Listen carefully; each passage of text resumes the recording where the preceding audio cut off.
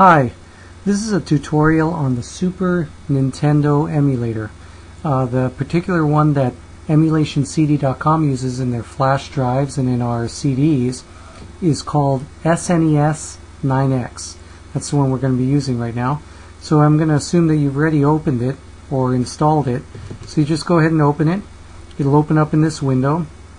And um, probably the very first thing you're going to want to do when you first open this up is go to options, settings, and make sure that your um, directory is in here as far as where your games are. This is uh, showing the program where to look to find the uh, Super Nintendo games. And um, automatically in our installation package it goes straight to C, Program Files, and Super Nintendo folder. So uh, just make sure that's in there. Click OK. If it's not in there, just browse and put it in there. Once you're done with that, next thing you're probably going to want to do is configure your uh, game controller that you're using, if you have one. Um, just go to jo joypad configuration, and here you just pick the uh, the control that you want, and um, uh, if it's up, then move your controller up. If it's left, move your controller left, and uh, so on and so forth. And when you're done with that, click OK. And when that's done, you're probably going to want to uh, configure this so it looks right to you. Right now I'm going to open a game. You go to File, Load Game. And normally you'll see a whole bunch of games here, but for our purposes I only put one game. Um, we're going to open that, Donkey Kong Country. You can see it kind of opens up a little small in here. Now you may not like that. You may want the uh, image to open up uh, stretched to fill this entire box. Or you might want the image to fill up the entire screen.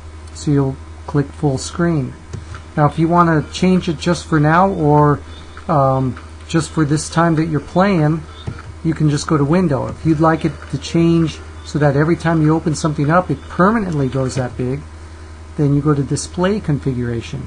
And you can change what size everything turns into, full screen or whatever, and then click OK.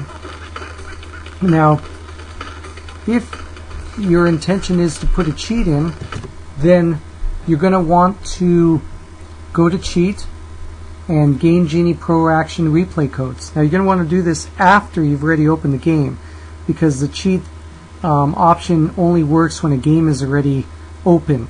If your emulator hasn't opened the game, then it's not going to be available to you. So anyhow, you open this up, type in your cheat code, click Add, and then uh, OK, and you got your cheat code in there.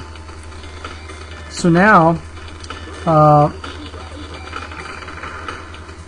pretty much every other option that you're going to have is pretty self-explanatory. You're going to either enable a mouse or any of the other things that you're able to do. Um, and that's it. Pretty simple.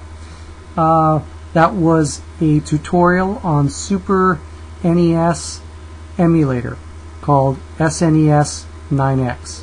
Thank you very much.